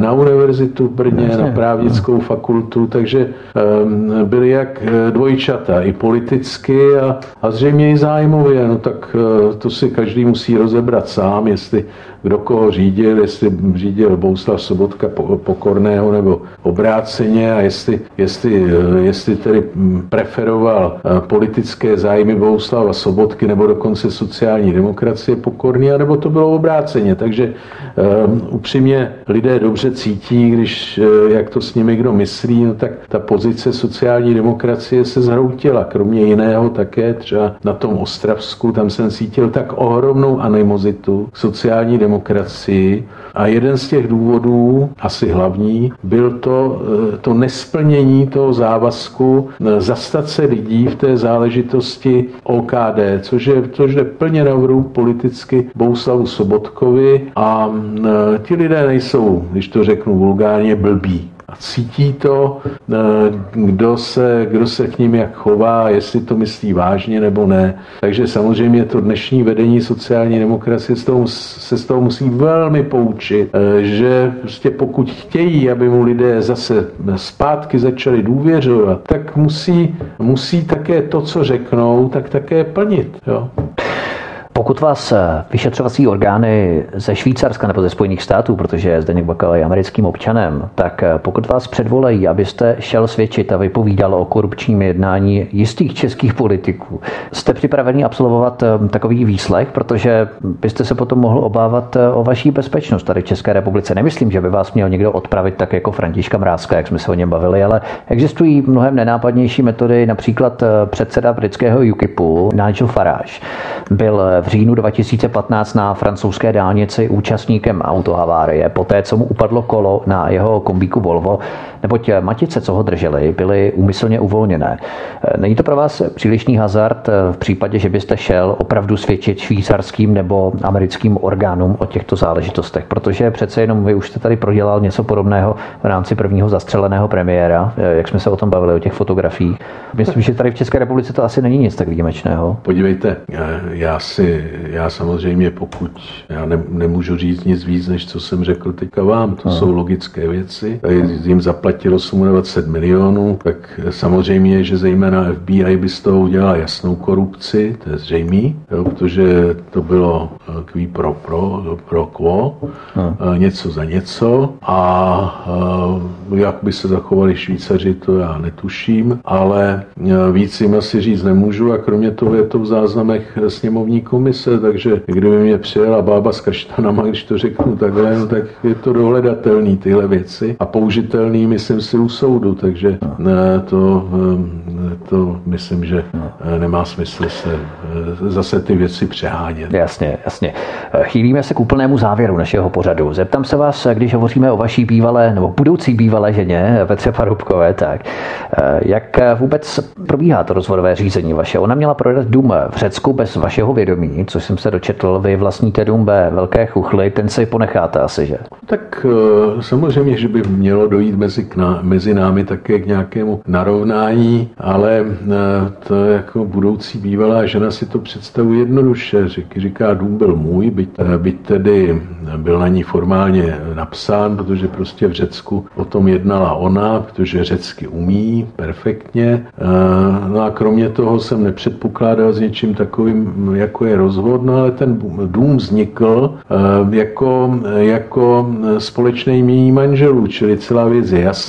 Rozvod se provádí podle českého práva, tak, tak se musí provést to eh, narovnání. Eh, ten byt byl oceněn na, ten dům byl oceněn na 542 tisíc eur podle soudního znalce a možná, že si udělá finanční úřad, řecký finanční úřad nějaký svůj posudek. Ehm, budoucí bývalá žena ho prodala eh, za, řekněme, ani ne poloviční cenu, takže, nebo poloviční za 280 tisíc eur. Takže já říkám, a protože mě také sebrali nějaké peníze ještě z bankovního sejfu. No, to je možná těch 5 milionů, které chybí v tom sejfu vlastně. Ano, to, a ta polovina. Většina z těch peněz nebyla mých, no tak říkám, ale tak e, já to nějak vyřeším, já to budu splácet e, tomu postiženému. My to, pokud jde o, to, o, ten, o ten dům, tak ty si necháš Řecko, ona to prodala mezi tím, že to už je její věc a já si nechám teda chuchly a, a, a, a hotovo. Takže a já zapomenu na to, že teda těch, ty peníze si mě sebrala, to si myslím, že je kulantní nabídka, kterou by měla přijmout. No a ona, ona říká vlastně, no tak e, já jsem nic nesebrala, dům byl můj, tak jsem ho prodala a z tohohle domu chci polovinu. No tak uh-huh. já tomu říkám, že jsou to takový nehezký počty a samozřejmě se tomu bráním. No, no. Tak, Mimochodem objasnilo se, kdo tedy těch 5 milionů z toho sejfu nakonec vybral, protože co třeba hypotéza, že by, hypotéza opravdu, že by Petra Paroubková předala ty klíče od eh, vašeho sejfu komu si, kdo by projevil patřičnou odvahu a kuráž jít sám ty peníze vybrat místo ní. Eh, prošetřovala se i taková možnost, eh, mohla vybavit klíči i k zámkům dveří, které je třeba překonat k tomu, aby se člověk dostal k tomu samotnému sejfu. Zvažovali jste třeba tuhle alternativu, protože já ty klíče jste měli jenom vy já bych, se, já bych se do toho už nezamotával. Prostě to je, to je tak a, a u soudu eh, soud tuhle tu záležitost bude řešit. Eh, předpokládám, že se tam dostaví taky nějaký svědek, že teda soud posoudí celou tu záležitost a posoudí hmm. ji, jak doufám, spravedlivě a, a samozřejmě já ji říkám, pojďme ukončit po třech letech ten spor. To je pro veřejnost divadlo, že v podstatě... Je to, je to divadlo, které nemá smysl a hlavně, hlavně akorát úplně zbytečně platíme právníky, všechno stojí peníze, jsme v kapitalismu a, a ty peníze se třeba můžou dát na nějaký jiný účel, třeba ve prospěch eh, dětí nebo něčeho takového, eh, dokonce vlastních dětí. Eh, takže, ale prostě zákon zachování hmoty platí u peněz. Když to vyházíte, když vyházíte za neúčelné soudy, tak jako pak vám někde chybí v něčem jiném a podstatnějším. No. Takže... Když jsme u těch dětí, tak eh, vydáte se teď s vaší dcerou Margaritou. Petru se ani neptám, ale co s vaší dcerou, protože vy jste měl zákaz jakékoliv medializace, dění kolem ní, platí ještě ten zákaz? Ten zákaz platí a já bych hmm. ho chtěl dodržovat. Jasně, tady je asi důležité, protože vy byste si nikdy nemohl být jistý, že budete kriminalizovaný znovu, tak asi přerušit úplně ty styky, že eh, poslední otázka. ČSSD tvrdě projela evropské volby, kdy její výsledky nepředpokládali ani ti největší skeptici. Jak byste odhadoval výsledky ČSSD v nadcházejících parlamentních volbách? Vynechme teď eh, letos ty krajské, protože ty jsou poměrně nepopulární, ale zaměřme se na příští rok na parlamentní sněmovní volby. Troufnete si odhadnout eh, výsledek třeba jen pokud, eh, nebo zdá ČSSD přesáhne těch magických ne 5%, ale spíš 10% nebo výsledky budou plus minus ty též jako v roce 2017? Poslední otázka. No, podívejte, pokud já bych tam ještě přece jenom řekl k těm, k těm evropským volbám, že já jsem to čekal. Se říkal, že to někdo nečekal. Já jsem čekal ten výsledek mezi třemi, čtyřmi procenty. E, pokud je o ty volby za rok a skoro tři čtvrtě, tak já bych to e, v tuhle chvíli, to by bylo neseriózní, kdybych to předjímal. Pokud se ta strana změní, začne se měnit, lidé uvidí změny k lepšímu, bude se měnit programově, objeví se nové programové cíle, objeví se nějaká snaha o obnovu té strany, ehm, objeví se prostě hm, nějaká snaha se polepšit, když to řeknu, protože vždycky je možnost eh, se zlepšit, zlepšovat, pracovat na sobě, tak, eh, tak lidé to ocení. Tak eh, myslím si, že je celá řada věcí samozřejmě, které, které ta strana může, musí změnit, tak jedna, já vyberu jednu, jedna z těch věcí, která mě teď napadla, to je to, čemu já jsem říkal vždycky strategická iniciativa, být první z návrhy a říkat, eh, říkat co, před, eh, co předpokládáme, že bude, nebo co chceme navrhnout a ti druzí na to nutně reagují. Jo? Takže tím to teď to vysál obrovský vysavač ano Andreje Babiše, že v podstatě tím, témata eh, sociální. Ano, dobře, ale to může být při zručné, zručné komunikaci s veřejností, tak to může být opačně. Může to být eh, to, že, že eh, naopak začne ztrácet to hnutí ano ve prospěch hmm. sociální demokracie. Třeba byty, na tom by se mohla udělat ČSSD, já protože byty jdou nesmírně nahoru. Já si myslím, že ano, ale pak je potřeba předložit konkrétní návrh, návrhy, aspoň věcný návrh zákona o financování komunální bytové výstavby. Aha, aha. Výstavby to myslím, že je řešitelné. Um, bohužel to bývalé vedení sociální demokracie o to nemělo zájem, takže šest let vlastně se nic nepředložilo. Říkat dneska Eh, paní ministrině z Hnutí Ano, ministrině pro místní rozvoj, nic nepředložila. Ona taky nic nepředloží, protože prostě to asi eh, není schopná, je plně zahlcená, zahlcená tím stavebním zákonem, který nakonec asi nedopadne, nedopadne dobře. Hmm. Takže to bude dvojnásobný debakl, ale pokud má sociální demokracie tenhle zájem, tak musí předložit něco konkrétního. Proč konkrétního? Protože všichni budou hovořit o tom, jak to skvěle udělají s těmi ano. byty, ano. pokud budou vládnout. No, ODS nikdy nic neudělala, TOP 09 nic neudělala, maximálně poradila lidem, jděte si pro hypotéky, takže a to, jak se přišlo na to, tak dneska už, já nevím, polovina lidí toho nebude schopná, nebo ani nemají zájem stavět um, svůj vlastnický byt nebo dům. Chtějí bydlet v tom nájemným domě, ale ne za hrozný peníze, abyste u Anděla třeba za byt eh, platil eh, za jedna plus jedna, mrňavý, skrčený, eh, jste tam a platil jste 25 eh, tisíc, takže, no. Takže samozřejmě, jakmile se začne stavět podle toho nového zákona, myslím, že ta praxe dnešní, že se může stavět, ale v podstatě si to obce musí z větší části zafinancovat sami, no tak je možná pro Prahu, pro Brno, pro takovýhle velký města, nebo i ty středně velký města, ale takhle se nedá postavit těch zhruba 10 tisíc bytů, který by se komunálních, který by se každoročně třeba za 3-4 roky měly stavět. No a jakmile se začne stavět, no tak okamžitě se to projeví i na poklesu těch nájmů, protože lidé budou vědět, že během krátké doby tady bude velká nabídka bytů nebo nějaká nabídka komunálních bytů, které budou za rozumnou cenu. když do toho přijmou, přijdou obecní pozemky, státní nebo krajské pozemky zadarmo, když se bude stavět eh, podle typových projektů, třeba 8-10 projektů, tak najednou vám ty peníze budou vycházet, ehm, vycházet za to nájemné úplně jinak, i když třeba, eh, když si nějaké neziskové družstvo, které by bylo pověřeno obcí stavěním, když si půjčí úvěr od banky, no tak eh, stát mu třeba na to dá dotace na úroky z úvěru a najednou to začne fungovat aby jen 20 let se ty peníze z toho úvěru a ta anuita zaplatí platí. Takže to je to, co si myslím, že potřebujeme.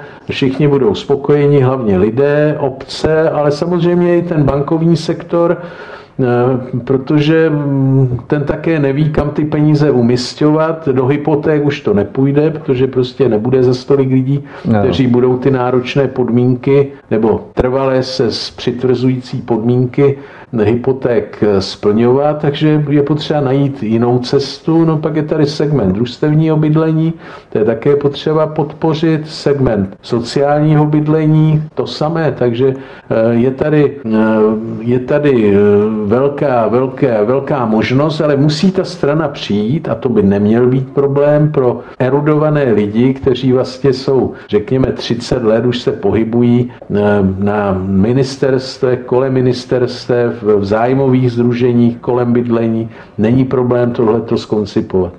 Dodává expremiér a bývalý předseda ČSSD Jiří Paroubek, kterému děkuji, že jste si na nás udělal čas. Velmi si toho vážíme, když se nám naše vyprávění, naše povídání protáhlo, protože to mělo původně být 60 minut, ale to vůbec nevadí. Já vám moc děkuji, že jste si na nás udělal čas. Spoustu nových informací jsme se dozvěděli. A budu rád, když se u mikrofonu svobodného vysílače setkáme třeba i někdy příště a už vás nebudu trápit tak dlouho. Ono skutečně se tady je opravdu na co ptát a i teď vlastně to není vůbec všechno, na co jsem se chtěl zeptat, ale opravdu musíme být soudní, jak si já ten čas eh, rozumně s ním hospodařit. Takže já vám moc děkuji a těším se třeba někde příště. Děkuji pěkně a přeju, přeju vlastně všem posluchačům vašeho rádia dobrou noc. Tento i ostatní pořad si můžete, milí posluchači, stáhnout nejenom na stránkách svobodného vysílače, ale můžete zavítat i na náš YouTubeový kanál youtube.com lomeno C lomeno rádio SV Studio Tapin Radio a tady můžete kliknout na ikonku odebírat na pravé horní části obrazovky a čímž se stanete odběrateli našeho kanálu a nezmeškáte žádnou z premiér, které pro vás budeme vysílat. To by bylo všechno. Od mikrofonu se loučí Vítek na svobodném vysílači. Přeju vám ničím nerušený poslech dalších pořadů a těším se s vámi opět příště. Naslyšenou. Hezký večer. Prosíme, pomožte nám s propagací kanálu Studia Tapin Rádio Svobodného vysílače CS. Pokud se vám tento nebo jiné pořady na tomto kanále líbí, klikněte na vaší obrazovce na tlačítko s nápisem Sdílet a vyberte sociální síť, na kterou pořad sdílíte. Jde o pouhých pár desítek sekund vašeho času. Děkujeme.